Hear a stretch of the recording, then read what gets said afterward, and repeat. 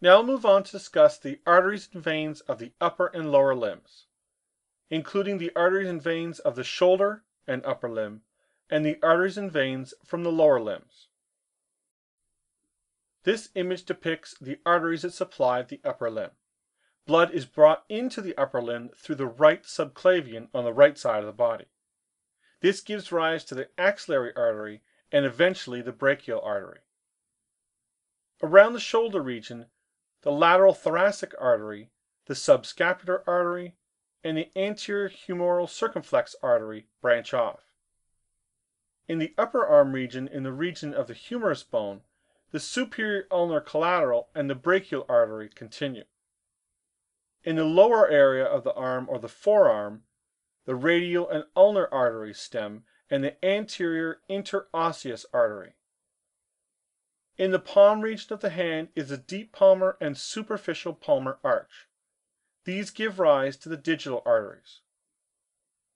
The subclavian arteries supply blood to the upper limbs, chest wall, shoulders, back, brain, and the spinal cord. There are three major branches of the subclavian.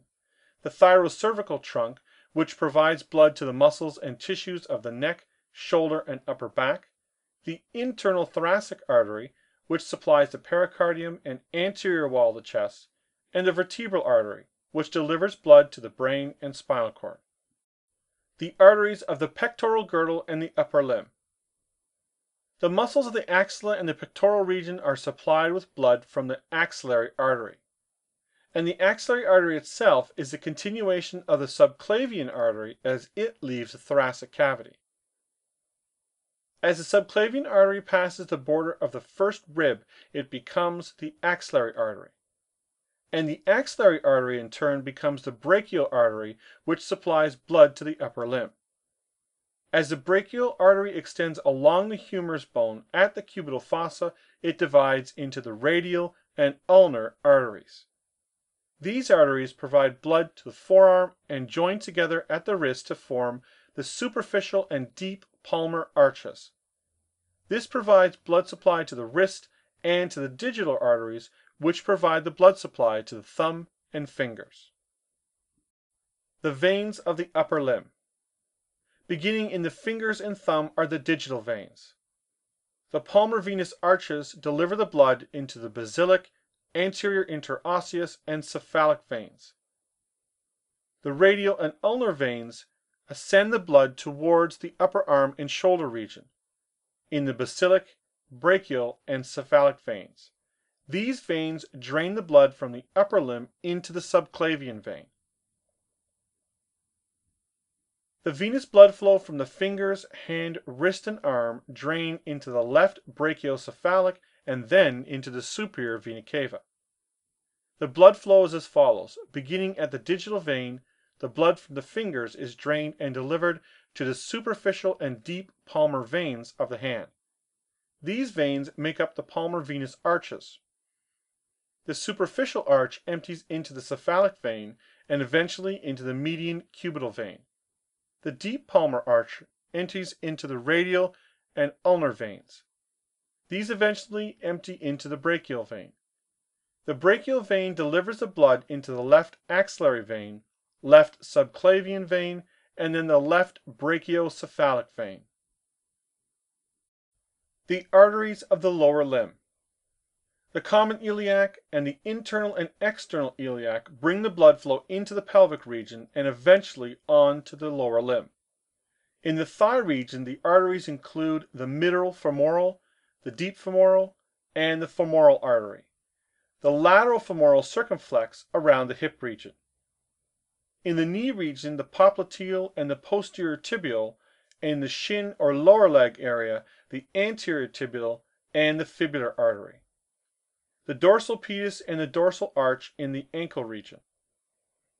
The blood flow to the lower limb travels in the external iliac arteries from the pelvic region of the body.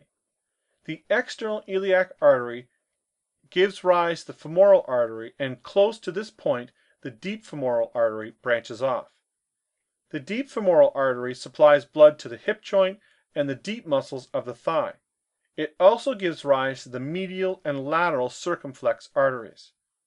As the femoral artery extends down the thigh at the popliteal fossa, it gives off a branch known as the descending genicular artery. This artery supplies blood to the medial aspect of the knee. Arteries of the lower leg and foot.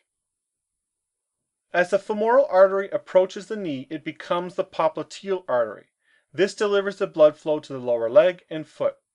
When the popliteal artery crosses the popliteal fossa, it branches into the posterior and anterior tibial artery. The posterior tibial artery gives rise to the fibular artery and extends down the back of the tibia bone. The anterior tibial artery extends between the tibia and fibula bones and supplies blood to the skin and muscles of the anterior portion of the leg. One of the arteries of the foot is the dorsal pedis artery, and it arises from the anterior tibial artery.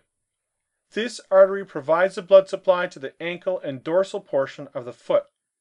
The posterior tibial artery gives rise to the medial and lateral plantar arteries. These supply blood to the plantar surface of the foot.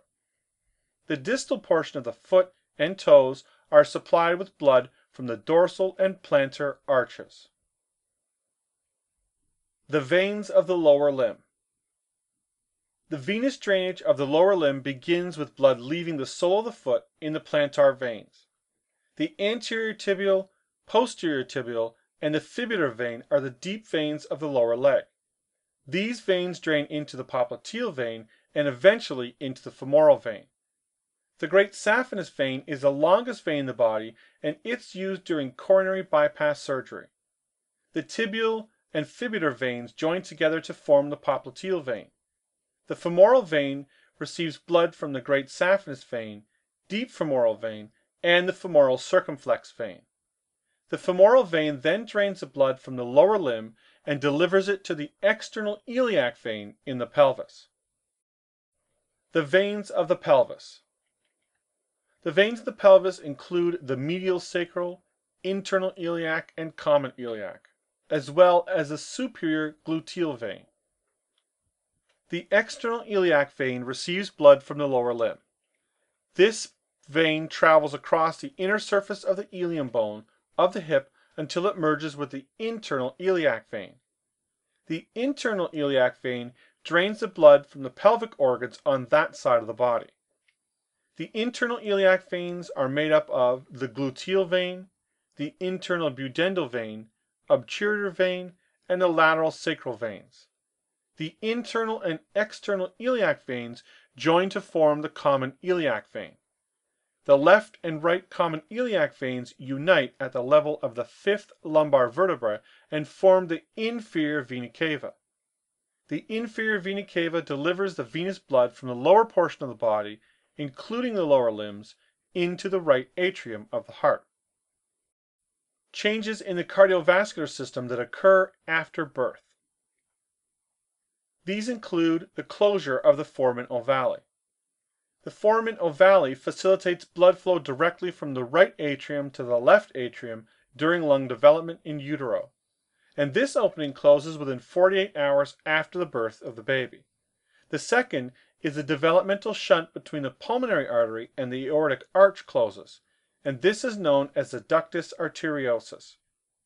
This normally closes within the first 24 to 48 hours after birth. The failure of these developmental attributes of the cardiovascular system to close as expected can lead to significant consequences.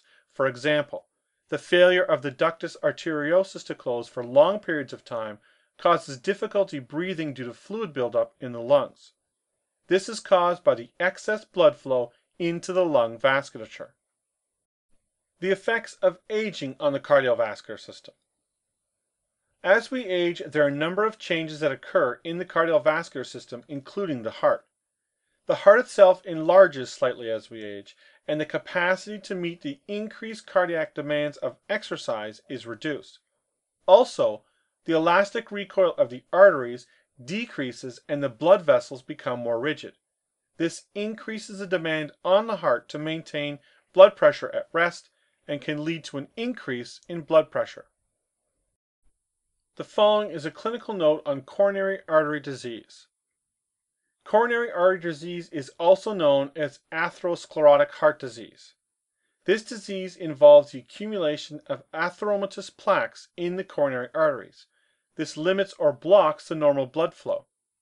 The reduced blood flow leads to a decrease in the perfusion of the myocardium and this results in chest pain or angina and can result in altered heart function.